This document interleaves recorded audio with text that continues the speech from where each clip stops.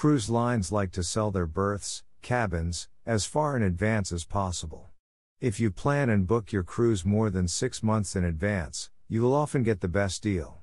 Some cruise lines also offer low price guarantees, so if the fare drops after you book, you will get the lowest price. If you book far in advance, continue to monitor the fares and report any price changes to your travel agent, who should be able to either get you a refund or a cabin upgrade. Booking your cruise far in advance may also help you to use frequent flyer miles for your airfare to the cruise embarkation port.